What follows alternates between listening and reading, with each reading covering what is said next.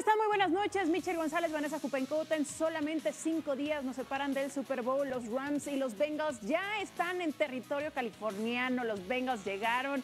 En fin, ahora sí, se prende la cosa. Así es, Vane, amigos, un placer acompañarlos en Sports Center.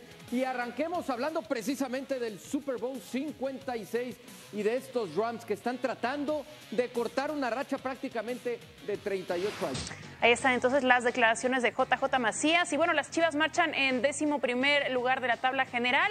Tienen cuatro puntos de nueve posibles. La ventaja es que tienen doble jornada esta semana. El día de mañana visitan a Juárez y el sábado reciben a Tigres. Vamos a la conferencia de prensa. Michel, hubo golazos esta jornada 4 de la Liga MX. ¿Te parece si los repasamos?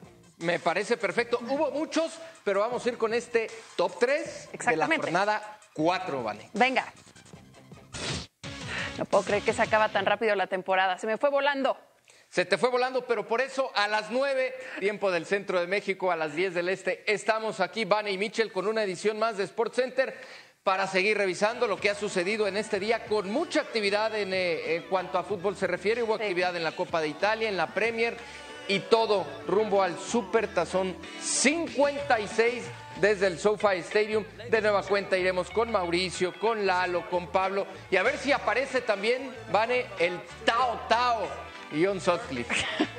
Ha tomado clases, ¿no? Así es. Eh, bueno, pues ahí está. Entonces los vemos a las nueve con eh, todos esos detalles que ya les mencionaba Michelle. Finita, luego de ver a Donovan Carrillo en la pista de hielo en Beijing 2022 con esos triples y esos molinetes en el hielo, que le dieron una puntuación de 79.69 puntos y está clasificado a la final. El programa largo que nos tiene preparado incluye un mix de canciones de Ricky Martin y Carlos Rivera y nos habló al respecto su padre.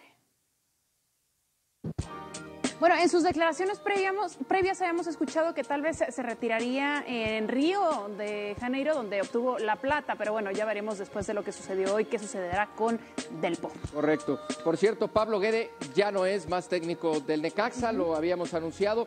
Eh, en su lugar llegará Jaime Lozano, pero no ha podido ser presentado el Jimmy debido a que eh, tuvo síntomas de COVID, dio positivo, así que tendrá que esperar todavía unos días el equipo de Aguascalientes para poder eh, presentar a Jaime Lozano como su nuevo técnico. Les urge, les urge. Bueno, y nosotros nos despedimos, pero ya se quedan Caro Padrón y Jorge Eduardo Sánchez, más Sport Center. Adiós.